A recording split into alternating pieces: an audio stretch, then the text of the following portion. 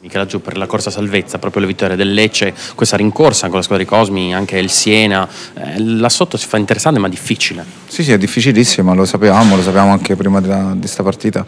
Abbiamo fatto due, sette risultati utili consecutivi dopo, prima di stasera e siamo solo a quattro punti da, dalla quart'ultima, dunque questo vuol dire che è un campionato molto difficile il, non stanno mollando, è giusto e dunque sarà, sarà, interessante fino alla fine. Noi dobbiamo continuare a giocare così come abbiamo fatto anche stasera perché tenere testa alla terza squadra del campionato è importante, ci dà fiducia e, e dobbiamo, dobbiamo spingere. Ultima curiosità, ti mi hai visto molto arrabbiato con Fabrini, c'è stato un momento di tensione? Sì, perché sai, sei a terra, dici che hai crampi e poi dopo ti alzi e esci da solo un po' da fastidio per la presa in giro ma giustamente lo fa il gioco dell'Udinese, noi in quel momento eravamo nervosi, volevamo cercare di recuperare, ma niente di che, finita lì.